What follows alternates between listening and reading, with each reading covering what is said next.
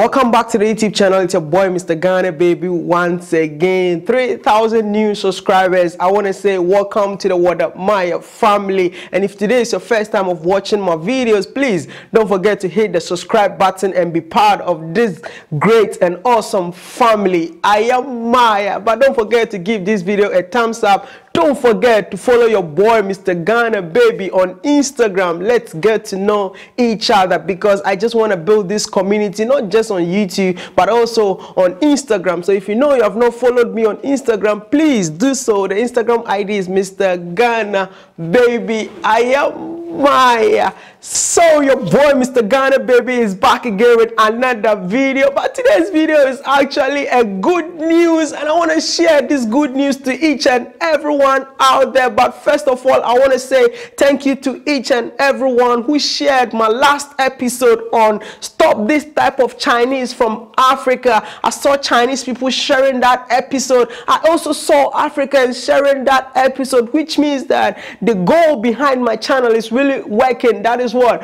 Bridging the gap between Africa and Asia, specifically China, because your boy Mr. Maya lives in China. Aya Maya. So what really happened? It's been a week, seven days now. I've not uploaded any video because of that issue because I really wanted results. I don't want to be a vlogger who just complain and nothing happens. I am looking for results these days. That's why I don't complain. So anytime I complain, something has to be done. You know, this is not my first time of doing a video like this. I did a video some time ago complaining about how Chinese people are exploiting Africans. I contacted Zambian embassy and I never heard anything from them. So I decided not to say anything. That is why a lot of people are calling me a sellout. A lot of people are calling me a coon because I live in China. I move with Chinese people, so they think that Chinese government pays me. I wish, I wish Chinese government pay me. I don't gain anything from these things. Only thing I gain is to get my views on YouTube or something. That is what I gain and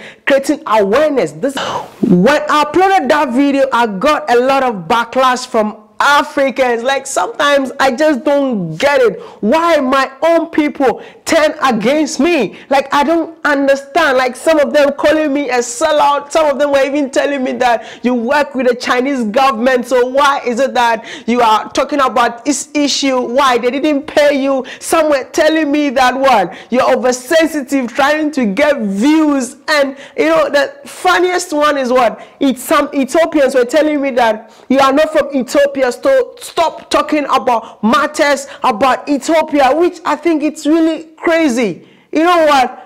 The crime that I committed was just to sit in here and tell people out there to help me stop this type of Chinese people in Africa.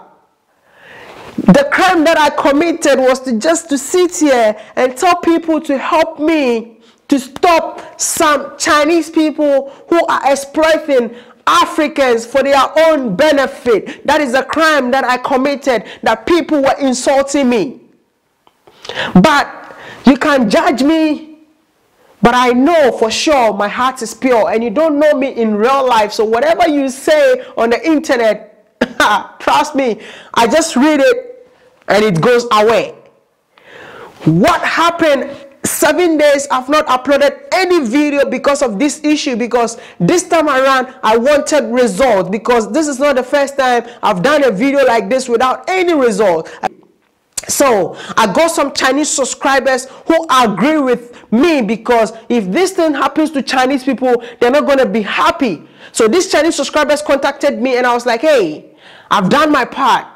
I cannot do this alone. I saw a lot of people sharing this episode. So if there's anything that you all can help me do, eradicate this matter, please try and help me. This is what my Chinese subscribers did. They started writing articles about these Chinese vloggers in Africa. They took this article to the company, the application, the video app application Kuaishou. And I want to say thank you so much Kuaishou for contacting me and also I said these Chinese people are disrespecting what? The African culture by exploiting our people. So the Ministry of the Ministry of Culture, the China Ministry of Culture, they contacted me and they were like, what can we do? And I was like, just take it as an example like me trying to do something like this to chinese people will you be happy they were like we are not going to be happy so what am i we're going to help you this is what they did they contacted the company the application and now I'm going to scroll right now. Type anything about Africa on Kuaishou. Everything is off.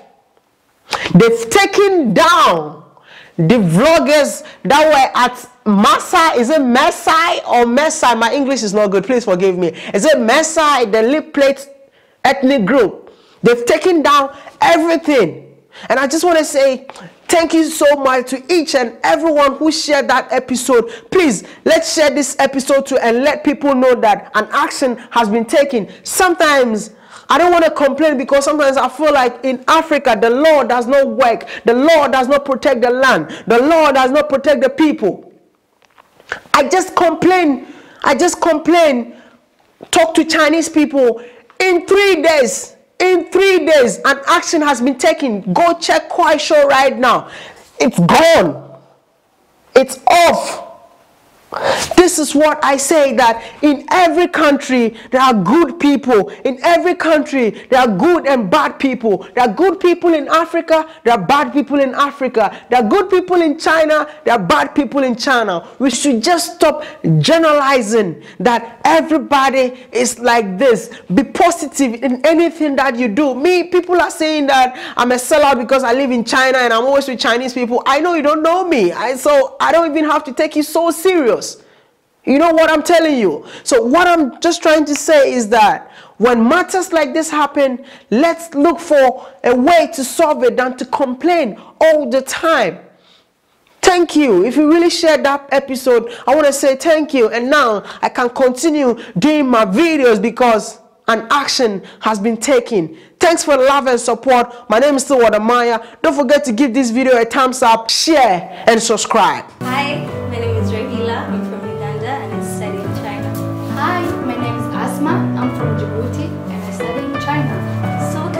experience are you looking for? Are you into Kung Fu or visiting the Great Wall? Then look no further, come study in China. Wondering how? Hit up Wode Maya. I am Maya.